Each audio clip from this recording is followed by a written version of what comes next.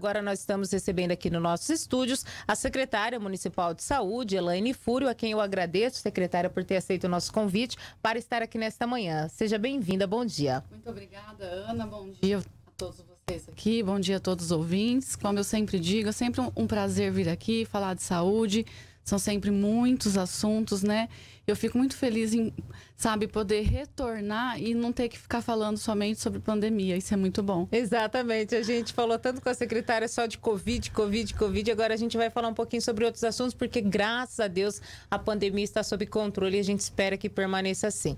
Mas, secretária, Vamos saúde lá. tem sido, né, o tema de debate. E aí, nos últimos dias, saúde foi um dos assuntos mais comentados na sessão da Câmara, nas redes sociais também. Sim. Na terça-feira passada, inclusive há uma semana atrás, é, foi um dos assuntos discutido após a, uma vereadora usar a tribuna, dizer que a saúde de Três Lagoas estaria um lixo. Por outro lado, outros vereadores criticaram porque entendem que não é dessa forma. E a secretária municipal de saúde, como analisa a situação da saúde? Está um lixo ou não?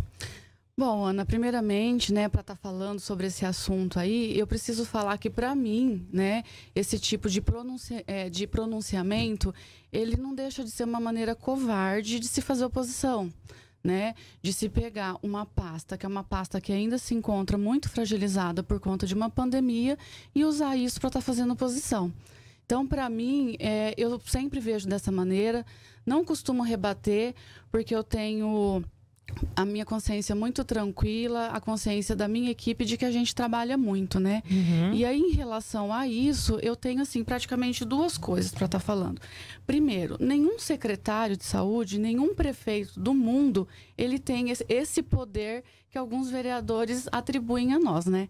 Então, nós não temos condições de estar 100%, controlar 100%, por exemplo, dos nossos servidores de conduta de nossos servidores. Isso é uma coisa que a gente não consegue. O que, que nós conseguimos fazer? Nós conseguimos apurar fatos, nós conseguimos melhorar né? Então, é assim, é uma coisa que, que é um assim, poder que eu falo, meu Deus, como que eu vou ter poder de estar controlando 100, é, 1.500 servidores, né? E aí tudo que acontece na saúde, a culpa é da secretária. Tudo que acontece no hospital, a culpa também é da secretária, né? Então, assim, isso daí é uma coisa que realmente não atinge, porque é uma coisa que a gente não consegue, né? Atingir, eu nem quero isso, nem, nem tenho pretensão de estar controlando condutas, né? Isso daí cabe realmente a cada um. Então, esse daí seria um primeiro ponto. Um segundo ponto, né? Nós ainda, Ana, vamos passar por um ano difícil. Então, assim, se for falar na tribuna, vai falar ainda o ano inteiro. Entendeu? A saúde, ela não é um lixo, né? Não é um lixo. Nunca foi certo? Só que nós ainda vamos passar por um ano muito difícil, porque nós tivemos uma pandemia de dois anos, nós tivemos muitas agendas fechadas, você sabe muito bem disso, então nós ainda temos muitas filas. Nós não vamos sanar essas filas em um mês, nós não vamos sanar essas filas em dois meses e nem em seis meses. Nós estamos trabalhando sim, existe uma fila e o vereador precisa entender que existe uma fila. Porque que muitas vezes esse vereador, ele vai na tribuna, ele fala por quê? Porque ele quer que passe esse paciente na frente. Eu não vou passar eu não vou passar. Então, se esse vereador fala comigo, pede uma informação, eu explico como funciona, eu, é, eu explico que esse paciente ele está em, é, em uma fila, eu não resolvo aquele problema naquela hora para aquele, aquele vereador. E ele vai na tribuna, ele vai continuar indo toda semana. Porque eu não vou fazer isso, Ana. É porque, na verdade, você não é por você o fato de você ser vereador, aí eu pedi, a secretária Sim. tem que dar aquele jeitinho brasileiro e passar. Enquanto isso, tem outras pessoas já aguardando há bastante tempo. Não é Sim. justo cortar fila, né? Sim, não isso. posso fazer isso. Então, isso é uma questão. Uma outra questão é que nós tivemos um aumento absurdo de medicamentos, de insumos. Alguns medicamentos vão faltar esse ano. Tem dipirona faltando em várias cidades já do nosso estado.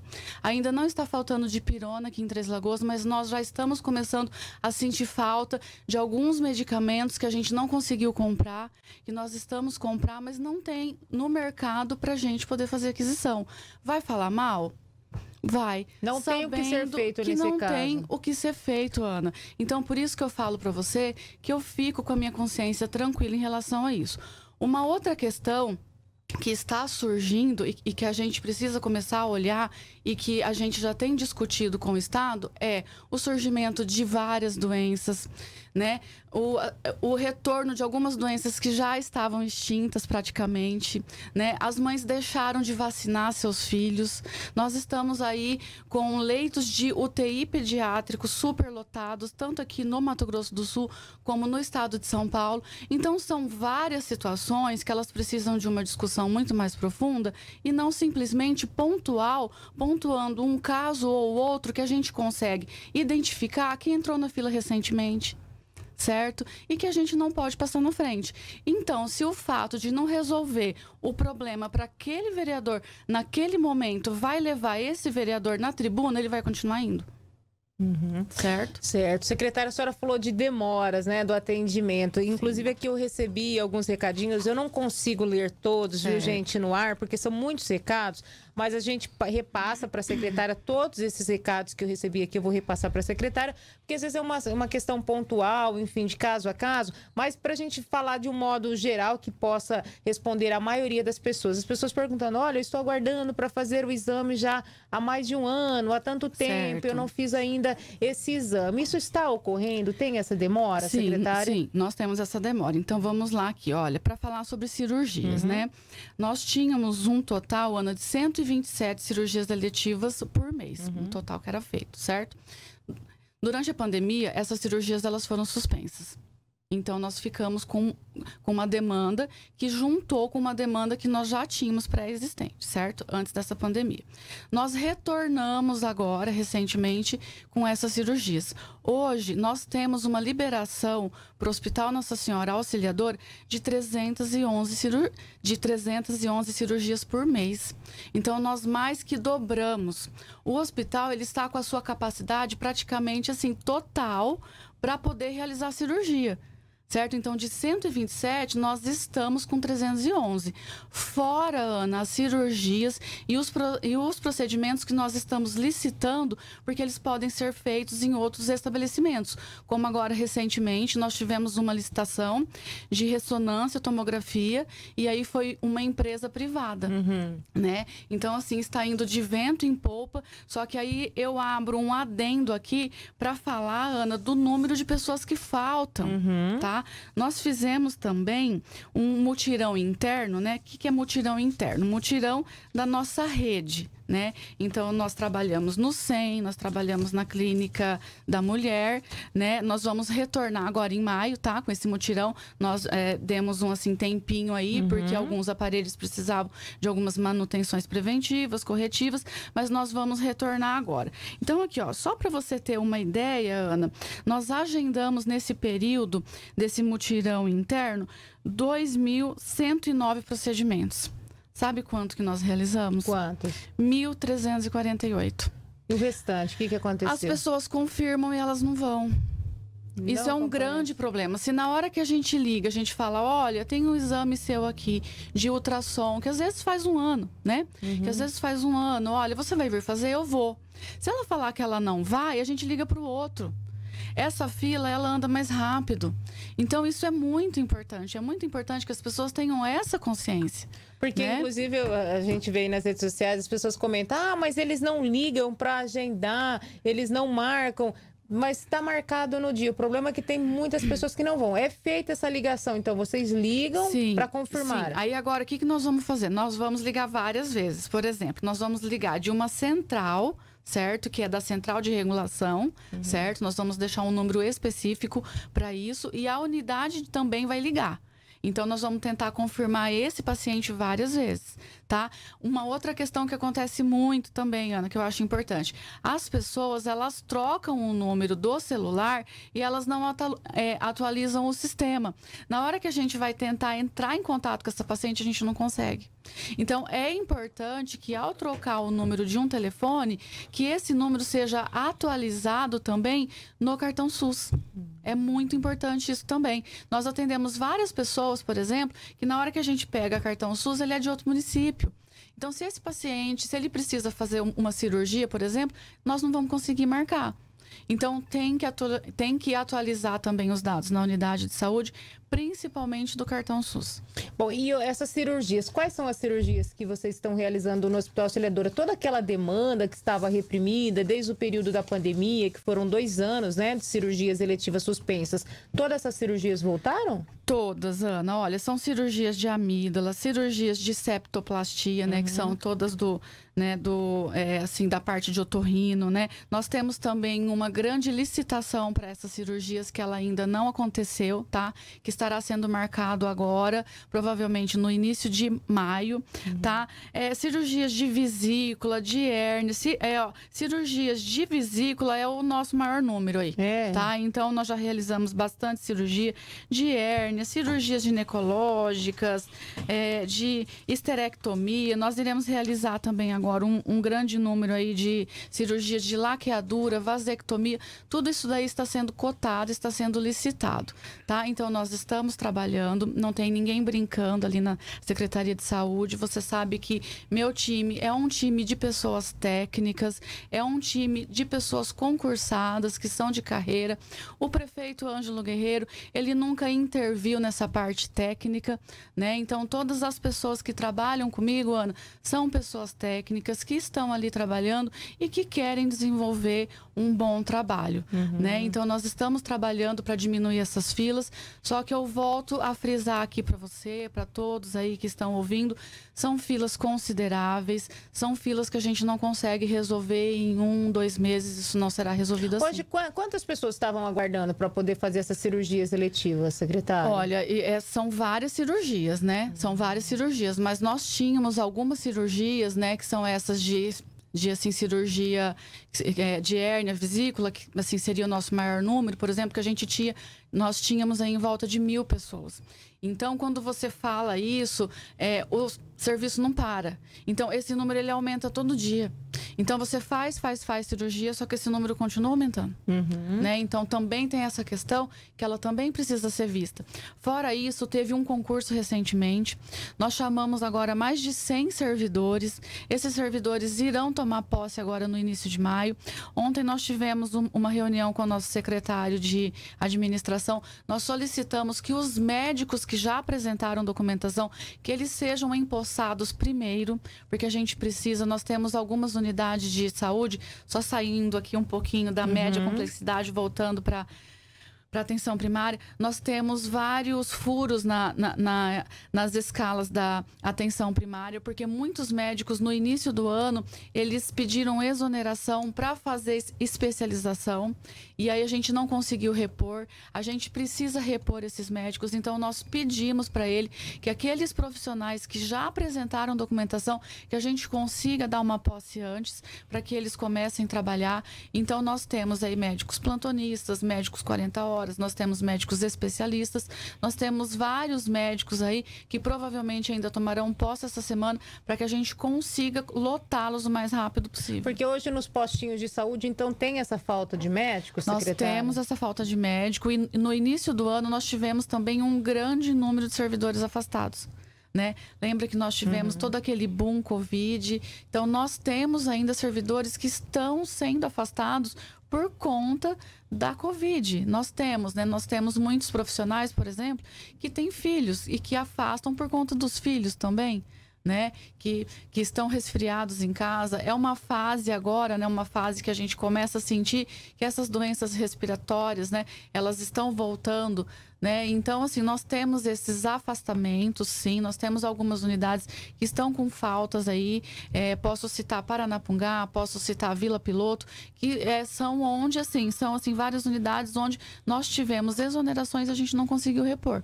Então é por isso que às vezes o, a, o, pai vai levar o filho lá, enfim, reclama, olha, não conseguiu o atendimento, o médico não foi, porque não tem o médico. Não tem o médico, não tem o médico. Então, assim, nessas unidades que eu citei, são três equipes. Né? Então, são três médicos 40 horas, por exemplo. Nós temos dois, tem dia que a gente tem um, né? Mas o certo seria é, é, que essa unidade contasse com três médicos. Até nessa questão da, das unidades, secretária, é muito comum a gente ver assim, ah, mas o médico só atende essas pessoas, ele vai embora cedo, ele e depois, ou se não, em alguns casos, a unidade de saúde manda ir para a UPA, né? E chega na UPA, a UPA fala que é o postinho de saúde que tem a atender.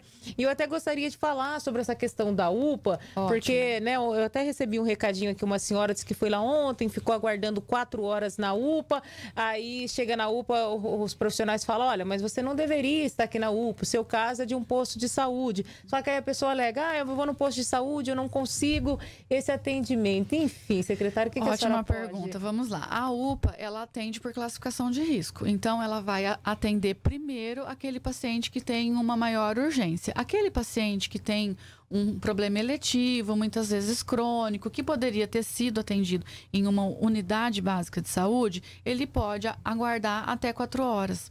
Né? Então depende muito de como está a nossa UPA. A nossa UPA, pelo feriado, tá? Então, assim, ela teve realmente um grande número de atendimento. Sem contar que toda segunda-feira tem um grande número de atendimento. Isso daí é normal pra gente. A gente até, muitas vezes, quando a gente consegue, a gente coloca um profissional a mais na UPA por conta desse aumento que a gente tem toda segunda-feira, uhum. tá? A questão das unidades de saúde né? Principalmente da questão do pediatra também, que eu quero até puxar uhum. um assim uhum. ganchinho para a gente falar sobre isso, né? Nós estamos passando, ano, é, é, Ana, por uma mudança na política de saúde pública. Então nós estamos passando por isso. Então assim, toda mudança ela é difícil. Toda mudança é difícil. Por quê? Porque envolve uma mudança de uma é, de uma vida de uma pessoa, né? Que sempre, ah, mas sempre foi desse jeito, né? Então, mas sempre trabalhou desse jeito. Por que, que agora é diferente, né? Então, o que, que o Ministério da Saúde ele preza? Ele preza para que o médico da família, que é aquele médico que tem o um vínculo com aquela comunidade, que ele atenda todos da família e que ele conheça todos os pacientes daquela família. Então, que esse atendimento seja priorizado para o médico da família, certo? Nós tiramos pediatra, ginecologista das unidades de saúde? Nós não tiramos, Ana. Nós não tiramos. Aquele paciente, tá? Volto a falar aqui, a gente está sempre falando em reunião para todos os enfermeiros, coordenadores, para todos, tá? Aquele paciente que faz a opção de não passar por um médico da família, por não ter esse vínculo ainda criado com esse médico, que faz a opção por é, passar por um pediatra ou então por um ginecologista, ele tem esse direito preservado. Ele pode solicitar isso para esse coordenador tá? A intenção também é que a gente coloque esse profissional 24 horas na UPA. Nós já estamos colocando, nós já temos alguns pediatras, mas nós não temos essa escala completa. Uhum. E aí, as últimas duas pediatras que a gente colocou, elas engravidaram e uma delas está com alguns problemas de saúde, então ela teve que afastar. Então, nós tivemos mais alguns furos aí. Por isso que a gente precisa desse concurso público agora, para que a gente consiga colocar esse profissional 24 horas também na UPA. Então, assim, lotando todos esses médicos, né, que vêm agora desse concurso, todos esses médicos 40 horas, nessas unidades onde nós temos alguns furos, né, e também é, deixando nossa escala da UPA redonda, eu acredito que a gente consiga resolver essa questão de que eu fui não tenha vaga, mas eu fui também não consegui atendimento. Acredito que a gente consiga isso daí. Pois é, até essa questão da UPA, né? Eu até recebi um, um recadinho aqui, a pessoa dizendo: olha, por que não tem pediatra na UPA, né? Vai levar criança à noite, dizer é um clínico, apesar que todo lugar, o primeiro que atende é o clínico mesmo, né? Mas tem muita solicitação para se ter um pediatra em casos mais específicos, em que a criança não está está bem, né? É, e é isso que eles têm solicitado. O prefeito já havia até anunciado na semana passada que vai disponibilizar um pediatra na, na UPA, só que a gente sabe que a falta de pediatra, ela é, acontece no Brasil inteiro. É difícil para se conseguir profissionais pediatras, né? Olha, nós tivemos até uma, uma grata surpresa com esse concurso que a gente conseguiu ter alguns médicos pediatras aí classificados, né? Então, realmente foi uma surpresa muito agradável para gente, porque a dificuldade dificuldade realmente em se contratar alguns profissionais é assim muito grande, né? E aí não somente pediatra, né? Neuropediatra também a gente tem uma dificuldade muito grande para essa contratação. Nós estamos até trabalhando aí na questão de uma telemedicina para esse para esse profissional, porque a gente não consegue encontrar, Ana, esse profissional para vir aqui no nosso município. Um outro profissional também que a gente procura, que o hospital procura também, é o cirurgião pediátrico. Enquanto a gente não conseguir contratar o cirurgião pediátrico, a gente não consegue abrir uma UTI NEO. Né? Então, assim, tá tudo preparado, tá tudo certo, tá tudo pronto para que isso aconteça, mas a gente sofre a procura desse profissional ainda. Respondendo algumas perguntas, secretário, meio que por cima, é, a dona Marlene, inclusive, perguntando de eletrocardiograma, né? Por que, que tá demorando? Tá sendo feito? Tá demorando ou não? Ana, ó, a questão do eletro é um desses exames que a gente coloca nesse nosso mutirão interno, tá? Uhum. Então, olha, nós agendamos 810 eletros, tá? Nesse tempo aí desse mutirão, nós realizamos apenas 512, tá? 298 pessoas faltaram aí para realizar esse exame. Nós Gente. estamos realizando ele rotineiramente e nós voltaremos agora com esse mutirão a partir de maio. Tá? Então a gente uhum. volta aí com força total para estar tá realizando também esse exame, além dos outros, como ultrassom, mamografia, vários exames aí que a gente tem colonoscopia, endoscopia. Gente, a questão da colonoscopia e da endoscopia para a gente é tão complicado porque a pessoa precisa ir buscar um preparo para que ela faça esse exame, né? Então ela precisa ir um dia antes, ela vai, ela busca esse preparo para ela realizar, né, o exame e assim confirma né, que ela está indo, porque se ela está indo buscar toda assim todo esse preparo é porque no outro dia ela vai voltar para fazer o exame, né? E aí ela não comparece para fazer.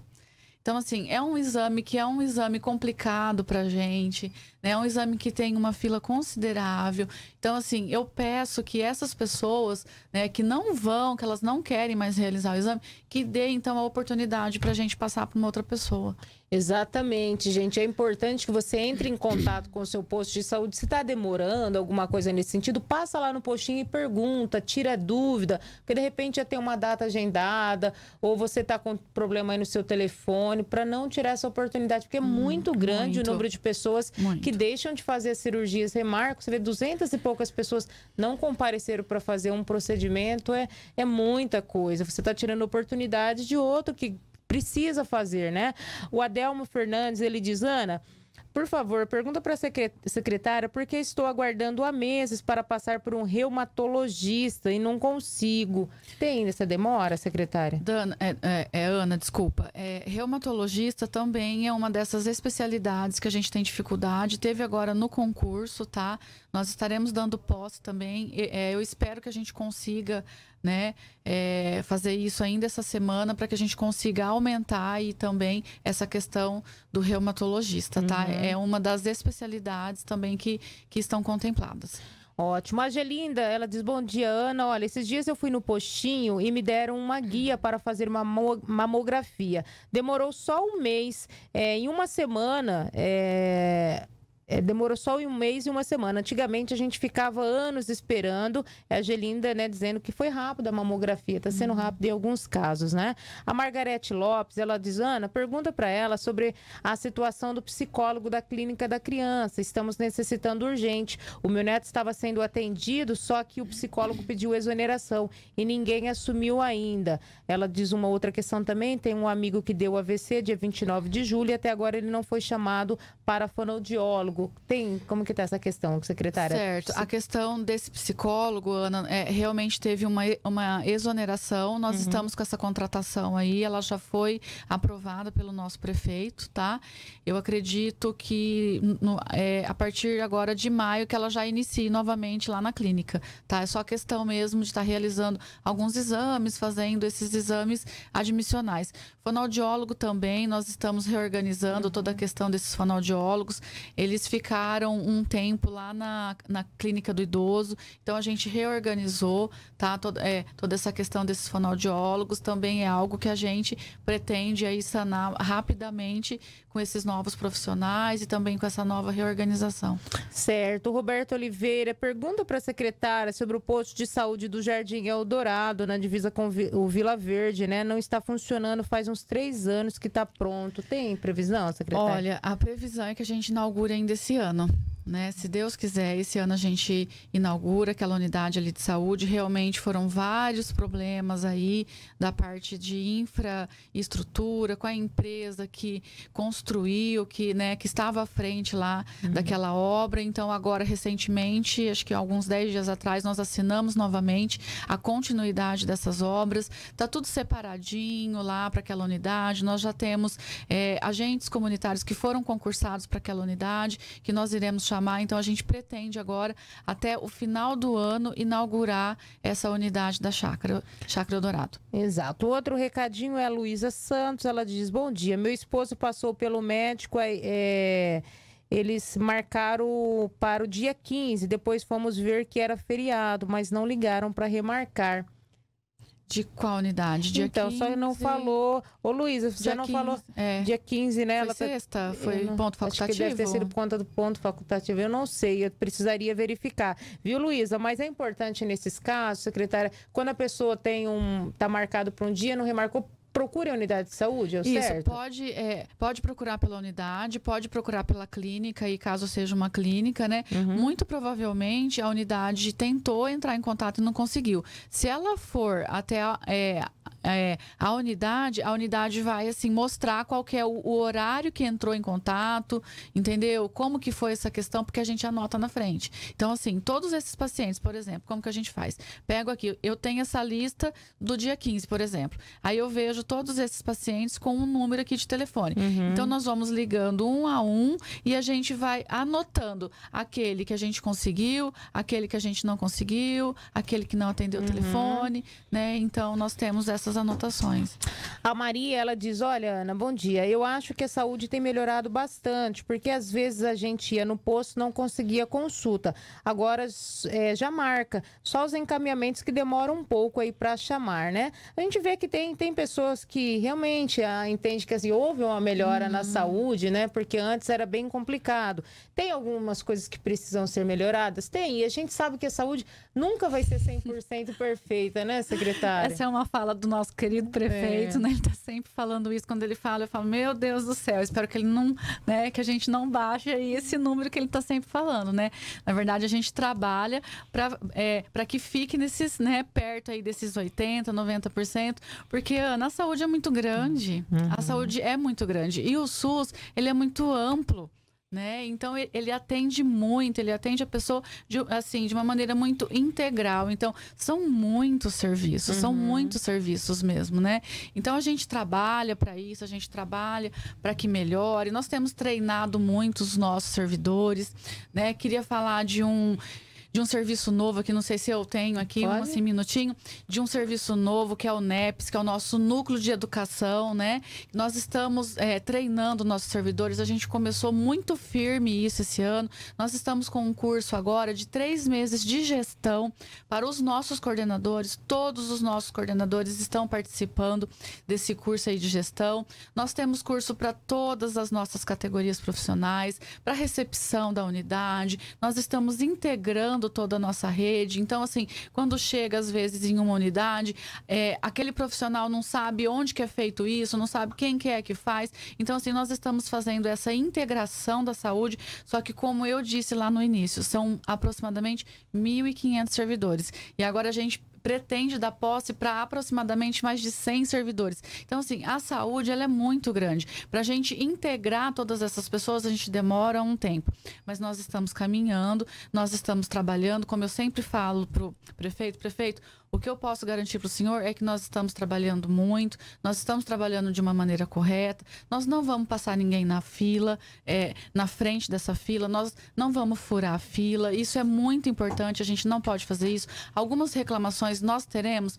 Nós teremos, Ana. Falei para ele, esse ano ainda será um ano muito difícil. Então, assim, algumas reclamações nós teremos, porque nós não vamos conseguir sanar todas essas filas, todas essas dificuldades aí em um período muito curto, né? Só que nós estamos trabalhando, contratando profissionais, fazendo concurso, contratando serviço. Nós temos é, parado assim, parado não, caminhando na licitação é, muitos aqui procedimentos, olha, é, assim, cirurgias em otorrino, é, cirurgias oftalmológicas, procedimentos urológicos, nós temos também a ecoterapia, nós temos CPRE e nós temos também o Hospital Regional que está aí batendo na nossa porta. Eu estive lá domingo junto com o Eduardo Rocha, o prefeito não pôde comparecer, mas nós estivemos, algumas salas já estão montadas, o hospital está ficando muito bom, está ficando muito bonito. Nós perguntamos para eles, vocês vocês é, vão conseguir garantir né, que dia 15 de junho a gente consiga inaugurar? Elaine, nós vamos garantir isso para vocês. Então vai ser uma outra porta de entrada, é um outro pronto-socorro, é um é, assim um hospital gigantesco. É. Né?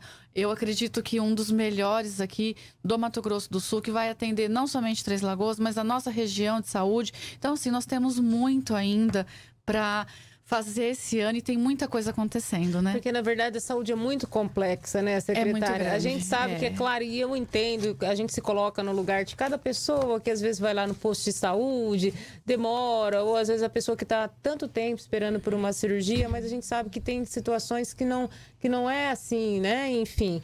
É, e às vezes as pessoas colocam também, ah, por conta de atendimento para o hospital, da demora, mas é o que a senhora está colocando. Assim que o hospital regional entrar em funcionamento também, isso vai ajudar muito, será um aliado do Hospital Auxiliadora, porque as pessoas precisam entender que só tem hoje o Auxiliadora para atender toda a região. Uhum. Não é fácil, são muitos pacientes, né? Sim. né? É uma macro região muito grande, não atende só os pacientes de Três Lagoas, Sim. mas é de várias cidades da região. Então, com o hospital regional, vai desafogar bastante também o auxiliadora, né? Sim, vai. Então, assim, a gente espera, a gente aguarda isso com muita ansiedade, né? Para que assim é, que a gente realmente consiga inaugurar dia 15 de junho, dar esse presente aí para o nosso município. Né? Nós aguardamos isso ansiosamente. É, nós não somos 100%, a gente tem falha, nós temos servidores que falham, sim. O que eu queria passar para você, Ana, é que a gente apura os fatos, tá? Então, assim, eu não costumo falar antes de saber o que, que foi que aconteceu, porque as pessoas, elas julgam elas condenam e elas aplicam a pena é. de uma maneira muito rápida, sem ouvir todos os é. lados. Então, sempre que eu recebo alguma reclamação, sempre que eu recebo alguma denúncia, a gente vai, a gente investiga, a gente manda para a sindicância, para processo administrativo. Isso acontece, é isso que a gente precisa fazer tá? Então nós não estamos alheios, tá? Assim, eventuais falhas aí do nosso serviço, nós não estamos. O que, que a gente faz? A gente apura. E é assim que tem que ser. É mesmo é, com relação à, à, imprensa, e aqui a gente faz um trabalho muito sério nesse sentido, e às vezes as pessoas passam as coisas, é, quer que a gente comenta, aborda tal assunto, sem ter, ouvir os dois lados, sem ouvir todos os lados. É, isso eu não faço, gente. Vocês podem ter certeza, fazer pré-julgamento, crucificar as pessoas sem saber o que aconteceu não faço isso, não estou aqui para isso. Na verdade, nós estamos aqui para tentar ajudar. Esse é o papel da imprensa, para ouvir secretário, ouvir a população, tentar melhorar. Isso que a gente espera, né, secretária? Tem ouvidoria também. É importante que as Sim. pessoas as, liguem na ouvidoria, tem reclamação. Nos postos de saúde tem a caixinha de sugestão Sim. lá. Coloca também a sua reclamação, né, secretária? Sim, pode fazer isso, pode enviar para a gente. A gente vai, a gente olha, né? Então, assim, o que, que eu vejo muito acontecendo hoje em dia, né?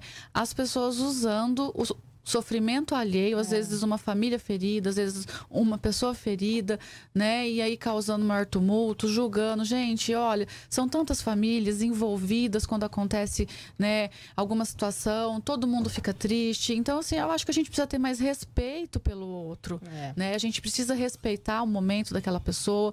Então, assim, eu sempre trabalho nessa linha, né? Sempre trabalho nessa linha de estar ouvindo todos os lados, de, de estar tomando todas as atitudes, né? Mas eu não preciso ficar falando, não preciso ficar expondo ninguém. Exatamente. E é importante que você que está é, nos ouvindo, gente, tome bastante cuidado com isso também. É um ano de eleição, a gente sabe que tem pessoas que aproveitam de uma situação para, né? Tirar proveito próprio, ao invés de querer ajudar mesmo o próximo. Então tem que tomar muito cuidado com isso. Tem gente que pega, às vezes, a desgraça dos outros para fazer a felicidade dele, né? Felicidade pessoal dele. Tirar proveito dessa situação. Não caia nessa, gente. Se você quer ajudar, alguém perdeu alguém, vai lá dar um conforto para essa pessoa. Se você pode ajudar de outra maneira, vai lá ajudar. Não adianta ficar expondo essas famílias, expondo essa situação. Você não está contribuindo com nada. Hum. Obrigada, viu, secretária, pela sua presença, viu? Imagina, Ana, sempre, né? É assim como eu falo, sempre um prazer vir falar sobre saúde, falar sobre o nosso trabalho, né? E assim, mostrar que nós estamos trabalhando, tudo que nós estamos fazendo faz parte também do nosso cargo, mostrar para a nossa população, explicar todas essas questões, né? Então, sempre fico muito feliz com o seu convite, né? Sempre sou sua sua ouvinte também, né? Obrigada. né? Então estou sempre ouvindo o pessoal falando também, colocando todas as suas, as suas demandas aqui. Então, sempre um grande prazer vir aqui.